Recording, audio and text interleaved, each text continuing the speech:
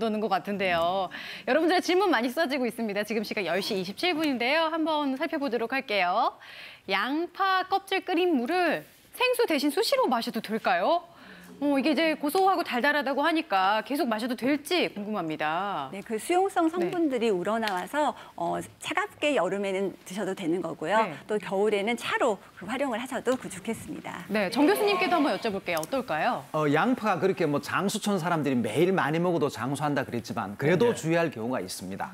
몸에 정말 열이 많은 분들은 양파를 많이 먹었다면 열이 자꾸 올라서 우선 눈부터 장애가 올 수 있습니다. 그래서 열이 많은 분은 조심해야 된다. 따뜻한 성질이니까. 어, 거기다가 어, 열병 앓은 뒤에도 조심을 좀 할 필요가 있습니다. 그리고 또 한 가지는 양파 먹으면 어떤, 어떤 문제 생깁니까?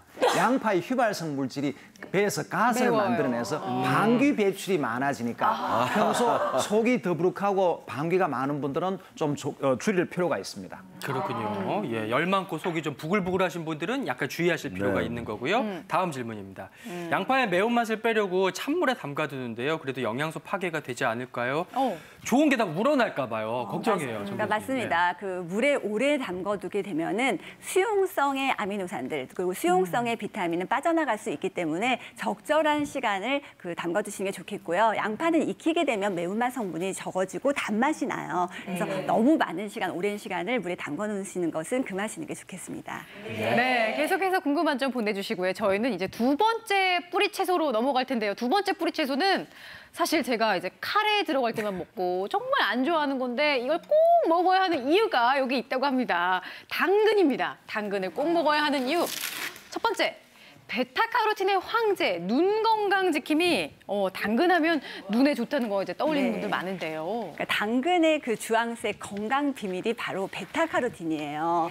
이 베타카로틴은 강력한 그 항산화 성분으로서 그 눈 세포가 노화되는 것을 막고 젊음을 유지시켜 줄 수 있는데요. 베타카로틴을 섭취하게 되면은 체내에서 한 3분의 1 정도 양은 비타민 A로 전환이 돼요. 근데 이 비타민 A가 눈 건강 지킴이 역할을 해주는 건데요. 그 시력을 담당하는 가장 중요한 조직 망막 세포가 있어요. 그 망막 세포에서 시력을 담당하는 색소 단백질 로놉신의 구성분이 비타민 A인 거예요. 그래서 비타민 A가 정말 중요하다는 건데요. 그럼 당근에 베타카로틴이 그렇게 많이 들어있어?라고 궁금해하시는 분들 네네. 계실 거 아니에요. 그러니까 당근 100g에는 7,540 마이크로그램의 그 베타카로틴이 함유되어 있어요. 그럼 지금 그 화면에서 보시는 것처럼 우리가 건강에 좋다고 하는 시금치보다도 1.8배 정도 더 많은 양이고요.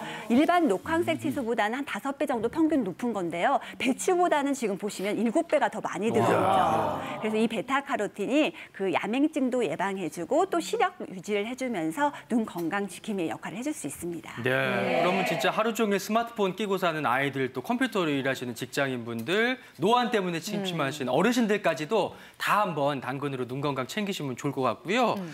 이런 효능도 있어요. 눈에만 좋을까요? 아니고요. 위장병이 많은 한국인 위건강 보호사. 좋아요. 예, 당근이 어, 비장을 건실하게 해주고 기를 아래로 내려주는 효능이 있습니다. 그래서 위와 장에 뭔가 쌓여 있는 것을 싹 내려서 속을 시원하게 해주고 또 대변을 잘 나오게 해주는 효능도 있습니다. 실제로 보면 이저 치료에도 쓸 수가 있는데요. 뭐 속이 미식거린다거나 속이 꽉 막혀 있고 소화가 안 된다고 할 때 당근을 먹으면은 싹잘 내려갈 수가 있습니다.